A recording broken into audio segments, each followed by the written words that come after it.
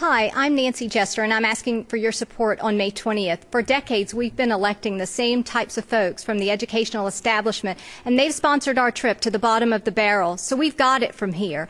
I've actually found $54 million of deceptive budgeting practices that wore away the accumulated cash reserves of the third largest district in the state. That's cost taxpayers, kids, and teachers. I'm the person that on day one can inject the best practices into the state and drive us forward better for uh, taxpayers and kids. Thank you very much.